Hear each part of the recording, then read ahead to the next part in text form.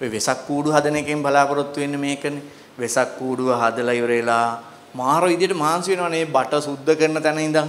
ඔය කළා මාංශ වෙලා දවස් දෙක තුනක් මාංශ වෙනවා. ඔකට හරි දාලවලා රැලි යලෝලා ඔක්කොම කරලා දැන් මොකද කරන්නේ? ඕන්න අදාළ දවසේ එල්ලනවා එළිය හරි. එල්ලලා ඔක්කොම කරලා ඉතින් ඔක බලලා ඉතින් දැන් නිදා ගන්නවා. පවවද උදේ නැගිටලා බලනකොට පාන්දර 4ට විතර වැහැලා. පීම් බලන විසක් කූඩුව දිහා අර පාටවල් හේදිලා වැක්කෙවිලා පාපොහොම තලි තලි ඇවිල්ලා නූල් වගේ වැක්කෙනවා. ඒ වය මොක්කුද? කෝඳුරුව වහලා හාපූ.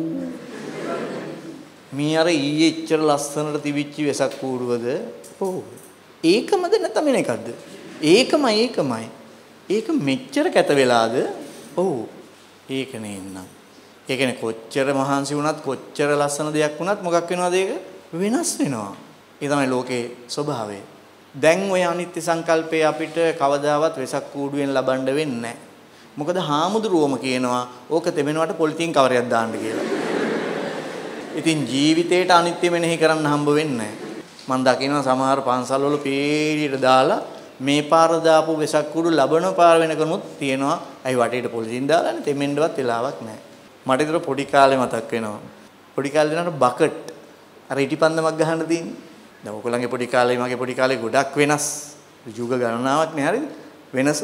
ඒ බකට් ගෙනත් දෙනවා පාට පාටින් හරිද? එතකොට දැන් අපිට මේ දැන් අදෝක පත්තු කරලා ගස්වල එල්ලලා හෙටත් පත්තු කරන්න ඕනි හරිද? ඉතින් එක එක පාටින් තියෙනවා. හරි ලස්සන පාටවල හරි. දැන් ඔක කොහොම එල්ලලා දිනකොට හිටි ගම හොස් ගාලා එකක් ඇවිලෙනවා. ඉතින් අපි ගිහිලා ගහලා ගහලා නිම්මට වැඩක් නැහැ. මේ වගේ රවුමක් මෙහෙම වෙලා. ආය අරන් දෙන්න සල්ලිත් නැහනේ. දෙමාපියෝ ගාව මාර දුකයි ඉතින් දැන් මේක.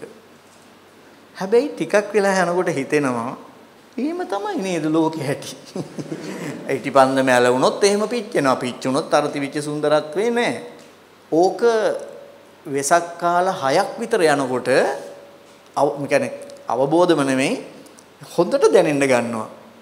ඊට පස්සේ අපි දන්නවා මේක මෙහෙම වෙන්න පුළුවන් කියලා. ඒ හින්දා පත්තු කරනකොටම දන්නවා මේක මෙහෙම වෙන්න පුළුවන් කියලා. එතකොට ඒක එහෙම වුණයි කියලා දුක නැහැ. මොකද ඒක වෙන්න පුළුවන් දෙයක් නේ.